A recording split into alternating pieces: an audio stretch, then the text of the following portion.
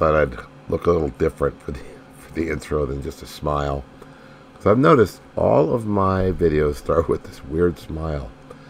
I, am not always happy, but anyway, this was going to be my uh, rant about Trump and how Trump uh, is the is so much like how history repeats itself, and Trump is a, a lot like Hitler, but I think he's not so much like Hitler as he was, as he's like uh, King Henry VI, right? Uh, and then I realized, who cares about that?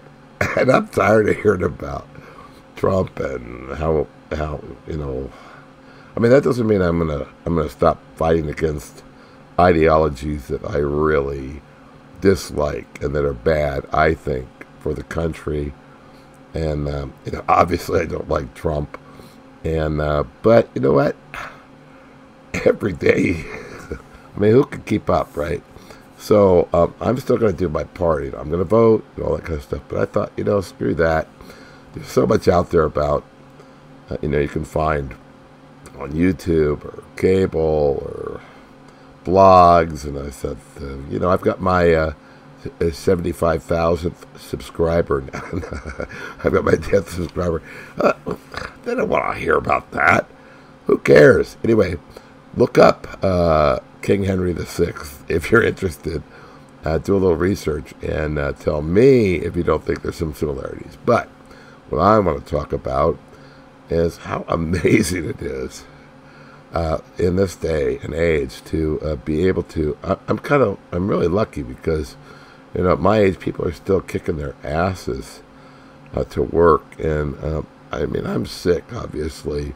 I don't feel good, but, you know, I've got it pretty pretty easy when it comes to if you think about it. I mean, the, so much of the world can barely get food on their table, and I can't keep food out of my mouth. you know, I mean, it's terrible. And then to think, uh, you know, it's so easy for people to complain about how how things are bad right now, and I've lived long enough to actually remember when things were bad before, and things are bad now, and I, I really think they're bad now, but you know, there's so much out there to learn, and I'm really lucky. I've got all this time where I can I can sit and learn new things. And uh, what I noticed when I was younger was that I never believed that old people ever learned anything new.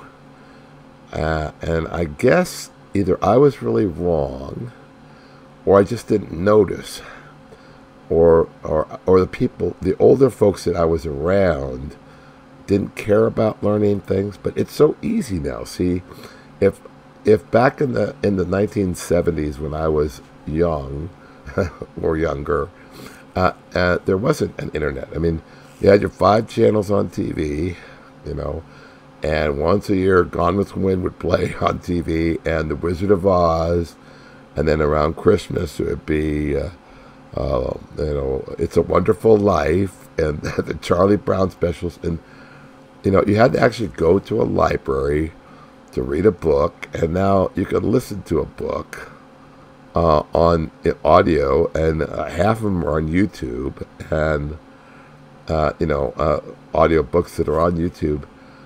It's like things are so different now, and uh, there's so much out there to learn. I mean, it's amazing.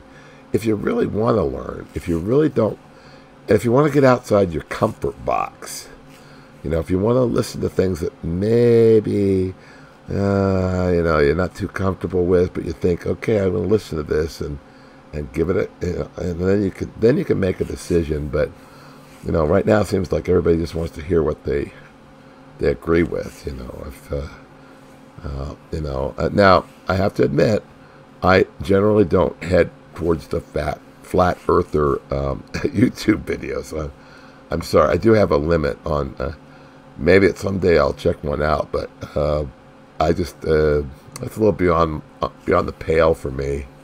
So, but what I would like to encourage people is, I mean, a lot of things that we're inundated with, you know, Facebook, uh, and uh, you know, uh, people on the far left and people on the far right, and um, all, all these things there's so much else going on in our universe right now. I mean, in our, I mean, scientific discoveries like I, I just amaze me. Uh, you know, uh, biological, genetics. I mean, uh, you know, I, you know, I could find out. Uh, you know, I, I, when I was young, we were taught. Um, well, we weren't taught. We were we were told by my, my parents and stuff uh, you know, oh, on my dad's side there was Native American, you know, uh, blood, and on my mom's side there was uh, Jewish blood. And of course, I took a DNA test, and there's uh, neither of those things in my. There, there's Neanderthal. We've got that. Know, uh, I am, by the way, and many of you may have assumed this anyway. 1.5% of my DNA is Neanderthal DNA. So somewhere back in our history, uh, uh, one of my relatives had a little uh, had a cup, uh, some interactions with a few Neanderthals. So uh, thanks, uh, fifty thousand year ago grandparent, whoever you were, for you know, and um, you know, most most people. Well, you know what's interesting is the group of people, I guess, this is something I've learned, the group of people with probably no Neanderthal are people with the most African uh, heritage. So uh, that that's interesting, right? Uh, so they're like uh, the people with an average African lineage, or strictly in certain parts of Africa, have no Neanderthals. They probably, uh, obviously, they were not interacting with Neanderthals, or uh, because Neanderthals, of course, when when Homo sapiens and Neanderthals worked together, uh, uh unlike the Denisovans, and I guess a, uh, a, lot of Asians had Denisovan ancestry too. Am I wrong about that? Not sure. But so my people were very Scandinavian and uh, British Isles and um, you know upper uh, or northern Europe and uh, mm, and they were finding that every time I, you know, every six months or so, I get more information on, uh, and they're they're we're finding more and more, and I think that's fascinating to me. So, uh, but uh, anyway, there's so much we can learn. You know, I'm learning so much about um, all sorts of things. And what's amazing is I had the time to do it. So, you know, a lot of people don't. A lot of people are barely getting by working uh, two two jobs. I mean, I, you know, when I was a teenager, you know, sure, I had a, an, my first apartment was with the uh, two, uh, the first apartment I moved into was with two two gay uh, guys, and I don't remember much about them except that they had a bird, and I had my own room, and uh, they were old though; they were like in their twenties, so. But uh, so I didn't have much interaction with them. But I had a cool apartment, boy, you know, with a sauna and a pool and my own room and some weird bird that would scream at me because it was a big one, a macaw or something.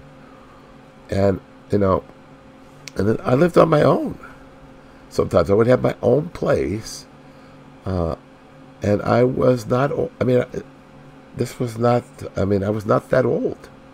You know, sometimes I would live with like nine people, but as, you know, early on it, would, it was pretty wild. But there are other times I had my own apartment, and I could afford that with one job.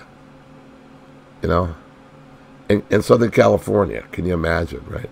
And it was not considered a high-paying job. I mean, you know, but my rents were, you know, I could afford it. I mean, a lot of times if I wanted to move up to a really nice place, I had to have a roommate or something, but I could handle it even if I didn't have a roommate. You know, two bedroom, two bath, apartment in Anaheim Hills, California, furnished, 600 a month. Uh, central air, pool, jacuzzi, sauna, weight room. I looked up the same apartment uh, today, uh, the same complex and everything, the same layout, uh, it's just gotten older. The trees are bigger and stuff, but twenty seven hundred dollars a month. Uh, yeah, now that's a that's a that's a big chunk of income. You're supposed to spend about a a third of your income on housing. All right. So that starts to get up there in the bucks. You have to to be making, you know, what nine thousand dollars a month. That that's that's a pretty good change for somebody. And when I moved in there, I was uh, I don't know, maybe twenty, just nineteen. I think it was nineteen. That meant I had a, you know, so I mean that's uh, most nineteen-year-olds in Orange County aren't making a hundred thousand or one hundred ten thousand dollars a year. You know, and uh, I sure wasn't making the equivalent of that back in 1979 dollars. Uh, you know, but that's how it goes. So there's a lot out there that we don't have to focus on always the negative. There's so much new and interesting things. I mean, if you're into learning about the cosmos, you can go and learn about that. If you if you don't know a term, you know, you can Google it, and then you can find somebody on YouTube that will explain it. If you don't know which pole on your battery to put put the, the jumper cables, you can go on YouTube and, and, you can find that. You don't have to ask your your you know your granddad. I mean, it doesn't matter. There's so much. It's just amazing to me. I mean, in my day, there weren't computers in libraries. You had you had a card file, and you'd have to look it up you know, by, I don't know, you know, there was a Dewey Decimal System. And I don't know if anybody knows what the Dewey Decimal System is today. I don't know, you know.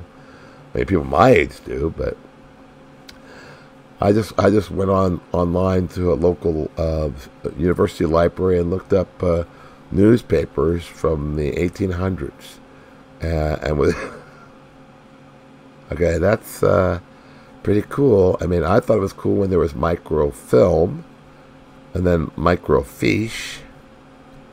And then when the internet came along, there was the Gopher client. Oh, uh, look it up. You'll have to Google it, some of you. And there was telnetting, and I had a 1200 baud modem. Uh, my first one was a 300 baud. 300 baud modem. So, and that cost me a couple hundred bucks the first hard drive. Well, I didn't even have a hard drive. The first one was tape drive. And then I'm old enough to remember when floppy drives. So you may not even know what a floppy drive is now. But when floppy drives were actually floppy. And then they became these little three and a half inch, you know, not so floppy, but they were still called floppy drives. It's amazing. Technology is amazing. I, am able I'm able to be you know be aware of this right now. It's just remarkable. It doesn't matter what you want to find out, what you want to learn about. It's out there. You know, don't always take a take a step back from you know watching Fox News or CNN or MSNBC. Um, it, oh, but check out Al Jazeera if you really want some good news. Al Jazeera English Al Jazeera. Yeah, that's that's pretty good. But step back from those stories. Get out of the get out of your comfort zone. Look or or find something you're really interested in and focus on it. Learn something new. It sure makes my life pretty fu- uh, pretty fine. I'm not gonna. I'm, I I don't like to cuss online. I'm old. Anyway, so that's my Trump, Hitler, King Henry the Sixth a talk. Oh, not what you expected, huh? Have a good day. Talk to you later. Bye.